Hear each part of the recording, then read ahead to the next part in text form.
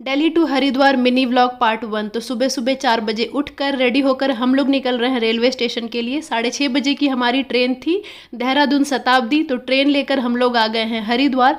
दिन भर होटल में ही थे क्योंकि दिन भर बहुत ज़्यादा बारिश हो रही थी, बहुत ज़्यादा ठंड थी। तो सीधे इवनिंग में निकले, सबसे पहले मार्केट गए जैकेट्स खरीदा, उसके बाद गंगा घाट गए हर की पौड़ी। गंगा घाट पर अच्छा खासा टाइम एंजॉय करने के बाद फिर हम लोग गए डिनर के लिए होशियारपुरी, जो कि हरिद्वार का one of the famous restaurant है।